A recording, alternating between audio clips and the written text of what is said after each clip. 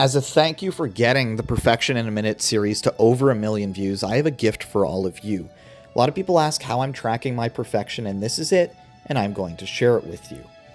So on this Google Sheet, there's a whole bunch of different things. The first, you can enter in a villager's name, and it'll pull up some info. You can also search by the date. If there's nothing on that date for any of the villagers, they won't appear.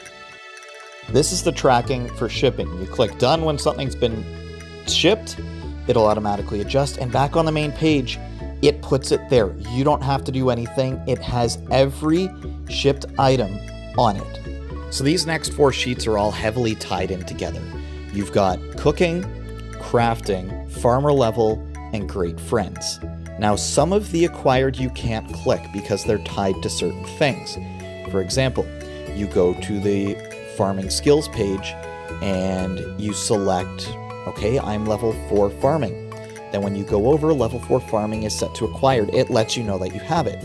The same thing with the Great Friends. We set Shane to level 7 as the friendship, and now the Pepper Popper is acquired.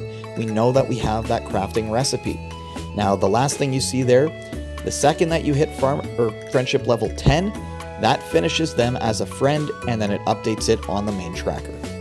The rest is pretty self-explanatory. The fish, it shows you where to get it, what time, what season, you hit caught if it's caught, and then of course don't forget you also have to get some from the crab pots. Uh, your monster kills, you enter the number. If it's not enough, it won't hit it done. Anything over does done. Simple as that. Same with your star drops. It's just a simple done, tells you when and how to get them.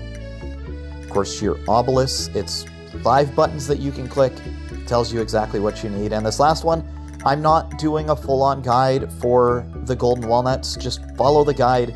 When you enter the number, it updates on the main sheet. Super simple. So this is my gift to all of you as a big thank you for helping get to over a million views on this series so far. And we're not even done summer yet. So thank you, everybody. If you want the link to this, it's in the description. You can see that QR code. Look for the link in the description. Thank you so much, everybody.